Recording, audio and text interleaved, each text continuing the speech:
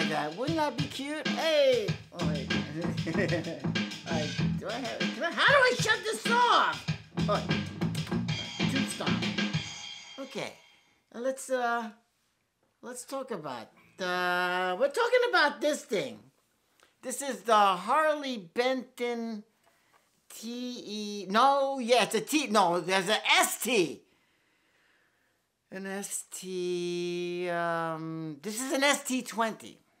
Yeah, this is an ST20. So basically, it's the most standard of like lines. Really, like basic line. If I'm not mistaken, this is the, like their basic uh, ST style. The one of their low. It's not. I don't think it's the lowest lowest uh, uh, end line, but um, I, but I think it's close to there. But so, uh, so what do you get? Well, uh, I, you know what? I, I, I have a feeling I have the, the notes to this here. So let's let's see if I have. you know, you would think I come prepared for these things, but it, no, no. This is, um, first of all, it takes a lot of guts just for me to do this. Oh, that's that's where it that's where it went. Okay, um, not this one. I guess I have a few of these guitars. Oh, okay, so this is the one. no, no, I mean, I mean, I only have one of this. This one here. And this one is the Harley Benton ST20 H, H for the humbucker, SS for two single coils, and it comes in uh, uh, satin black, as you can see. And this is the standard series. So with this, you get the standard neck. What's that standard neck? Well, well, all right. Let's let's go through the whole uh, the list of details that um, this is giving us. So we have a, a, poplar body. We have a maple neck. That's obviously bolted on. And the fretboard is Roseacer. I believe that's another word for saying a, a, more toasted version of maple or something, or wood. I don't know. Um, so, and that's on the that's on the fretboard.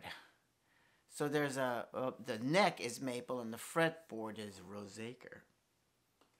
All right, so and uh, we have a modern C. Does that really feel like a modern C? Yeah, all right, whatever that. Is this modern times? So, anyways, a modern C. That's what they're calling it. A fretboard radius of 305 millimeters. Uh, that's 12 inch radius, right? Okay, so scale length is uh, 648. So I'm gonna guess this is the, the, the standard 25 and a half inch, right? Uh, yeah. So um, 22 frets, double action truss rod, and a five way pickup switch, uh, synchronized tremolo, black hardware as you can see. And the strings that come along with this guitar would be 0, uh, 9s to 42 and the color is black matte. Okay, this guitar came out in 2019. So, and this is basically a, you could say an entry level guitar. But uh, uh, entry level is what, you know?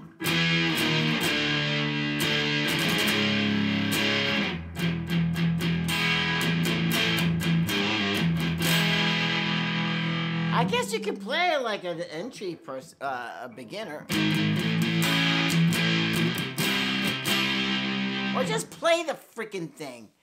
You know, so this is uh, uh, this is not the S, uh, Harley Benton's ST62, which I actually am a big fan of. If you haven't figured that out, well, this is not the ST62. This is the ST20, um, and it it. Uh, uh, although I really like what Harley Benton does with their maple necks, it's kind of hard to tell when you have this painted neck. That's now, though it's very comfortable to play and it's satin. It's basically very soft. You don't stick to it. Um, it's still one of those things that I sometimes feel detached from the guitar when certain barriers or certain layers are put on. I'm getting that kind of feeling with that. But with this, um, and I'm not particularly fond of um, although I like the look of it, uh, is the satin feel on uh, on a finish. Overly satin. Like I'll, I'll explain later. I think I did it on one of my uh, on my on my ST sixty two um, sunburst. uh, I I did sand down the finish, uh, but with you know really nicely. I didn't like make any scratches, but I just took the, the, the heavy uh, polyurethane finish and I brought it down a little bit, a lot. So, but then I polished it right back up again. and it seems really beautiful, but that's not what this is. So, um, it's very smooth. Like uh, you can probably run a pair of nylons on here, butt naked, and never get a scratch. And obviously you shouldn't. But and all the hardware seems nice. Uh, nothing really poking out no real sharp bits. I don't like sharp bits sticking out, especially in the in the saddle areas where you know all these set screws are sticking out. On some types of guitars that include these type of bridges, you'll get that kind of shenanigans. I'm not getting that kind of experience from this, so that passes. These are these uh, weren't considered or marked uh, marked as made by Roswell so I'm assuming they're not. So this is the standard series that doesn't have any indication that it says Roswell. There's no Roswell pickups in here. So whatever Harley Benton was using previously for these uh, types, that's what the, this is the sound. Which, to tell you the truth, is not a bad sound. I mean, considering how far we've come in the last few decades, folks. So just to, just because you don't know what the the big brand name is. If there is a big brand name that makes this, which probably there isn't, um, they could be generically produced out in China. But maybe they had a decent plan that they're working off. So you wind up with uh, not a bad song.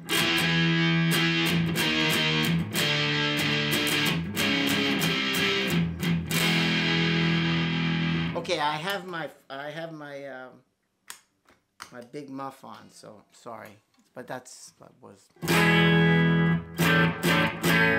That's it, clean. That's clean. Look at that. On the humbucker. Right there. So let's go through the pickups right while we're at it. Okay, so I'm gonna put it all up so you can hear. So we're now we're at that phase between the two, between these two. Here's the humbucker pickup.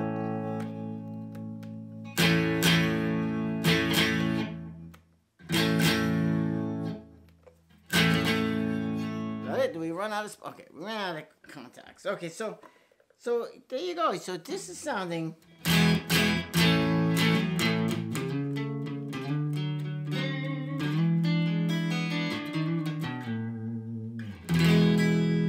has a very warm body, but there's not enough, you know, that stratty sound. So, but it is kind of warm and roundish, plucky round, not like like soft round.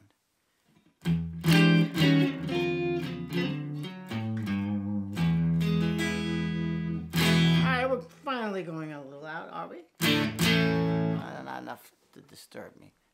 okay, so that's what we got here. Um, let me see how this middle pickup sounds like.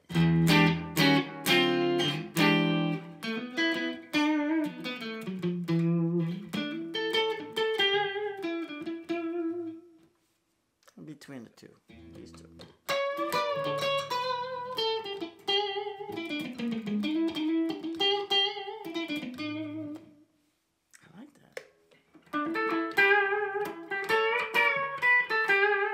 Now, as soon as, as soon as I get to this this humbucker, it's like we have a complete filter change. You hear that tone change between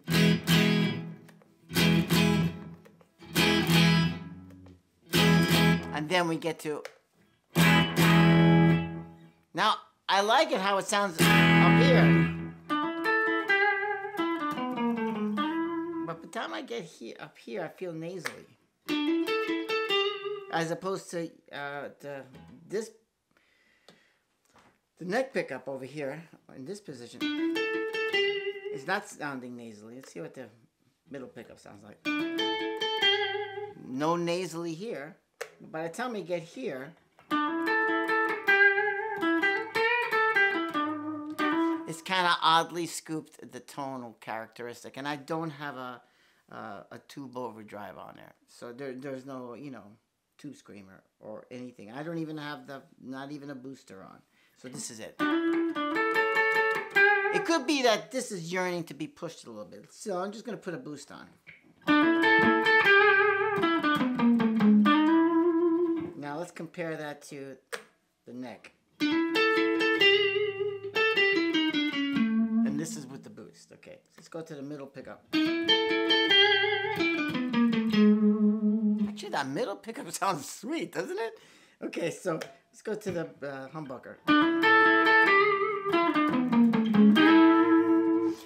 It's sounding more humbuckerish, and it should because it's a humbucker. Um, and it does break up sooner. It's, it is already, you can hear it's breaking up a little bit. But uh, it's still a little bit breaking up towards nasally for some reason. Um, anyway, it, it's, it, uh, you know, there's a lot of things you can fix in the mix or with pedals and EQs and whatever like that and uh, and then sometimes it is what it is, and you wind up liking what you like or how it is, whatever you got. So here, so here again, this is what it sounds like with no effects.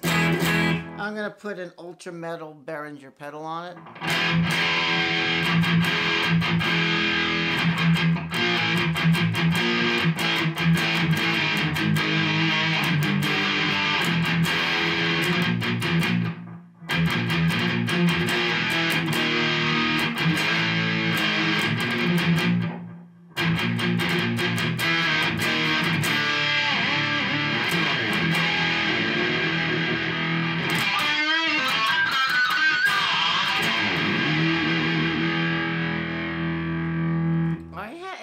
Tones in there. Let's just to take that off and just put on just uh, the Duke of Tone, which is a little. I, I like this, uh, you know, slight overdrive.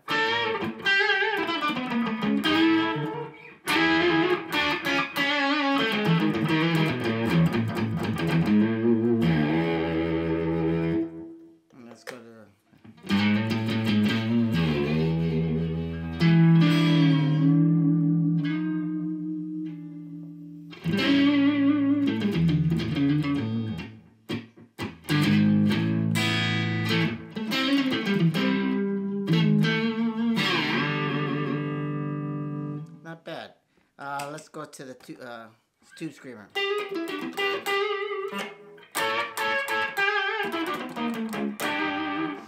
it's funny because it's already kind of like nasally. It really points out more nasally when you go to a tube screamer because tube screamers are very uh, pa parametric in my way, in my thinking. Like they're very um, unique in that little tonal disturbance that makes it sound like that tube screamer. Yeah. yeah that's what that does. But I, I'm really, since uh, I got the, the MXR Duke of Tone, I love it.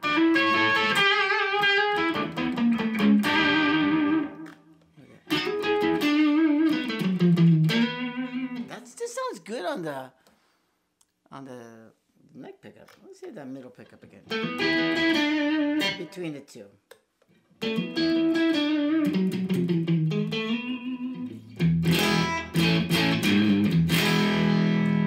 does it does kind of break up nice in a warm way with the Duke tone. So there you go. So it's not a it's not a bad guitar. It's actually a good guitar. It's it's it's it, it's it, uh, it's worth the money. Uh, it may not be one that you're gonna take up on stage with you. I'll be honest with you there's something here that's lacking for me.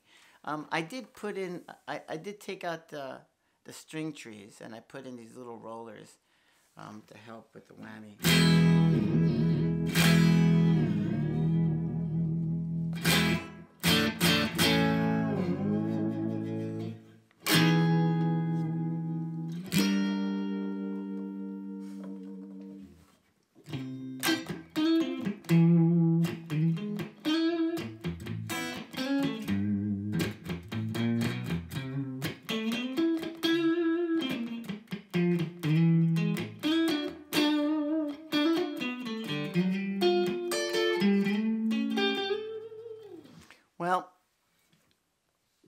Recommend this?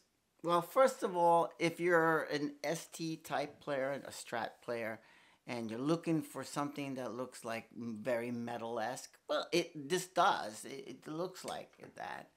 Um, I'll tell you right now, though, if you're looking for to do like you know the heavy progressive stuff with lots of heavy whammy bar work, if you can tame it, God bless you. But I wouldn't put too much um, dependency on how much this could produce.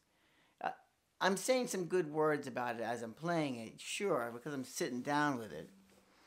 Um, but I think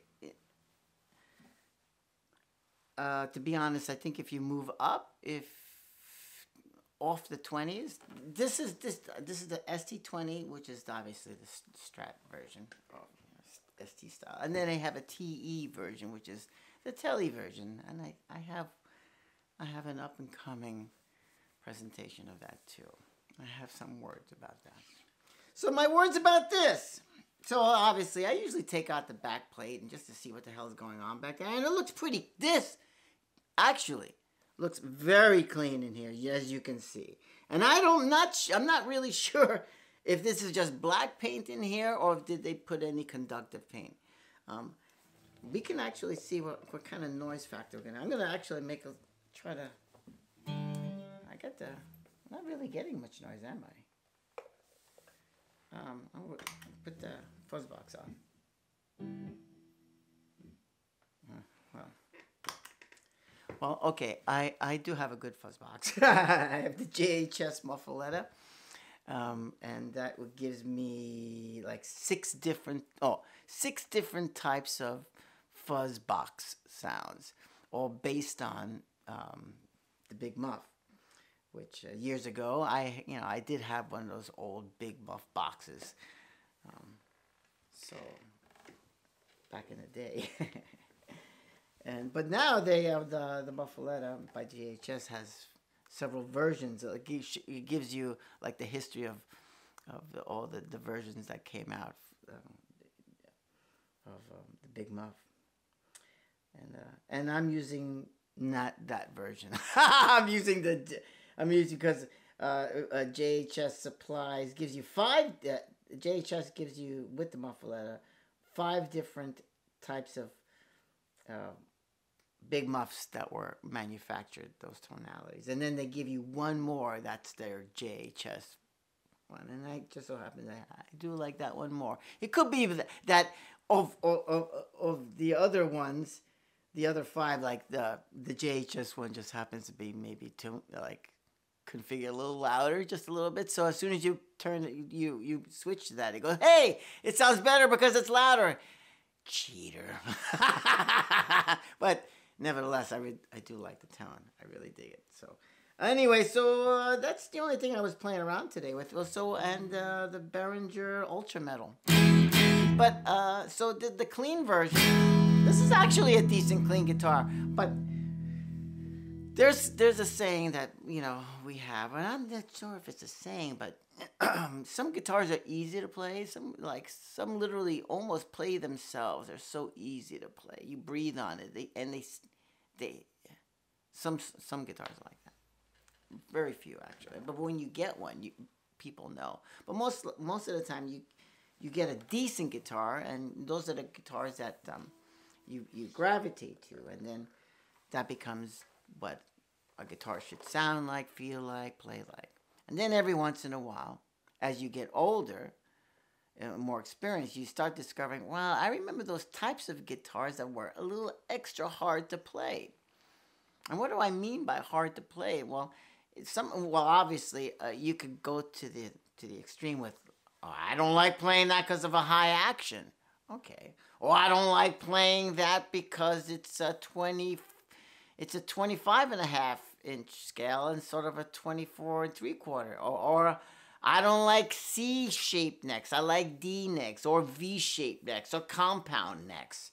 Or I don't like this, these shapes, you know. It, or I don't like it. It's not a guitar unless it's slightly arched like a Les Paul. Or if it just only has one cutaway like a Les Paul. Or it should, or it should weigh a ton like a Les Paul. Or or it's a neck diver like an SG, you know? So what is it that makes a guitar? Well, the guitar is just basically a piece of wood and some steel and a magnet and probably some bone, and if not, then it's plastic. But they all have personalities, and with that personality, personality inherent in each individual guitar, not just the style or the model or the manufacturer of the who makes it. It's, every every one of these things have a, a life of their own, and how it affects the handler is completely different from one handler to the other. All right, so how do I feel about this? It's a guitar. It actually sounds decent. It I don't know. I, I this is feels like it's in the lights in the light area. It's probably like around seven. I would say like seven four, seven maybe seven and a half pounds. I, I should have my scale. I'll, maybe I'll maybe I'll do that if I can get back to it. Get back to you in time. Oh, let's let me let me let, let's skip that. Let's let's go back to this. So uh, so what do I think? I, I well I do like I do like the uh, the idea of a black guitar with a tortoise shell picker. I'm just not crazy about the the satin black, but I got it because at the price that I, I, was getting this, uh, it was being offered, I should say, from Thomann uh, in Germany, no less. And then to be shipped here, it was just kind of ridiculous to pass up. So I took the plunge. I got this one, and did I get? Well, I, I might have gotten my the TE twenty uh, SBK um, HH, which is two humbuckers. When that's a telly, and it's same makeup like that. Same, you know, it looks black. Uh, I think it, yeah, that also has a tortoiseshell pickguard. I'll show you that. And uh, I'm sure you'll find that video somewhere in my collection of videos being displayed. And uh, hey, I, if I haven't told you, man, it would be, it would do me a real big favor if you could just, you know, hit that subscribe or like or follow button or the notifications that would really be cool. and if by chance you see a link that, uh, if you like this guitar, and, and if I'm inspiring you to buy it or check it out, then once you hit that link, it doesn't cost you anything. Um, uh, and uh, yeah, you know.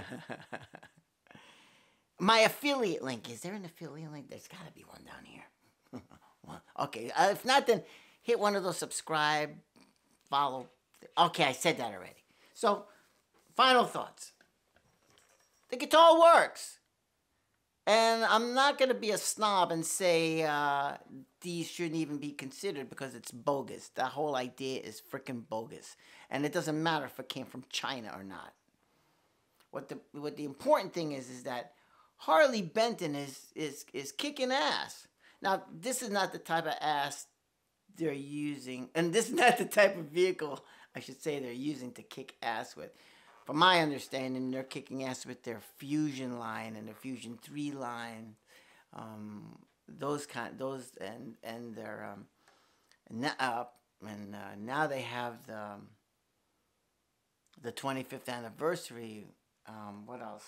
They also have, man, they have uh, their they're Les Paul, I believe they're 550, 552s. It's uh, second versions, but I, I heard they're really good. In fact, I'm probably going to plan to get one soon. So, um, but again, it's not going to, it's not uh, to tell you that um, I'm a Gibson or a Fender hater because you know, I, that's not the way I roll because it's very hard to get rid of something like this, you know, and have this be its substitute because, first of all, they're two different girls, aren't they? Yeah, they, they, they might both have six strings, but they're two different animals. Now, I've always been, as far as I could remember, I've been a pretty much a devoted Gibson person. Uh, I really do like Gibsons, uh, and I like Fenders too. I like good. I like good guitars. Um, you know, when it comes to my um, my my favorite guitar, well, that's right there. That's my Guild, my Guild Jumbo F50. Yeah, so I like good guitars, and I like guitars that are, are affordable, and it makes it more inspiring for the the young people out there to get inspired by without the limitations. Now, okay, my last, last, and final thought on this guitar. Uh, so at the, nowadays, it's 2023. You might be able to find these guitars still on um, Thomann if they're still making them, and the honest truth is they're still worth the money. Um, but uh, uh, the way things are trending, and, and the price point at which they're selling and manufacturing these things, it's, it might be to your benefit to just add another 20 or 30 dollars of more to, get, say, an, uh, an, Harley Benton ST62 version. Although none of the 62 versions, if I'm not mistaken, come with any uh, humbuckers. The the closest one would be their uh, the Harley Benton ST sixty two hot rod, which which comes with a um, a, a, twin blade hum, mini humbucker style in, in the space of a single coil. I got that coming up too. so stick around for that. And sooner or later, I'll probably do a shootout between them all. And uh, but in the meantime, this is not bad. Not bad at all, Harley Benton. Um, and uh, would I recommend this to a student? Sure. In fact, um, maybe give me some suggestions about how I can uh, maybe, I don't know, give this away. What do you think? Should I give it away? Maybe I should I should do something like some sort of contest. It'll probably cost me an arm and a leg just to pack it for you. well, I still have the box and everything, but still, I don't know. I kind of feel bad about shipping things because, and then I feel responsible if, if it breaks. even if I even even if I wind up giving to, giving it to someone for free. Anyway, so anyway, so this is what it is. Harley Benton, good job. Very good job. Um, so, hey, don't be afraid to, to buy something affordable. You know, you'd be surprised. Um, this thing works. Okay, so would I, uh, did I say, would I show up on set with this? I, may, yeah, I, I probably would out of just for balls and spite. But something in the back of my head says, you know, I, I'm dealing with a little less um, guarantee in my mind or in my hands. Sound wise, it seems pretty good, but everything everything has to make sense in in the mind of a guitar player who's playing you know, it, it's more than the look, it's more than the feel, remember. It's even more than the sound. There's a lot of things that, are, that are, have to be weighed in.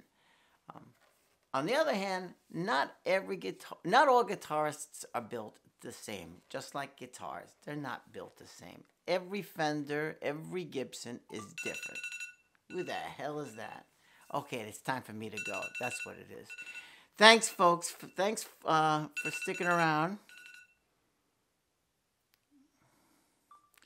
Thanks, folks, for sticking around. It's been a pleasure entertaining you. And I do hope you get to see me again on the next venture I show to you about where I'm going to go, where I'm going to land with what instrument is going to be my new joy. Oh, I do like looking for joy. Have you found joy? Okay. There is somebody I have a crush on, and her name is Joy. all right. So, folks, thank you very much. See you all in the next one. Peace. And be kind to one another. Be kind to the other guitars. Bye.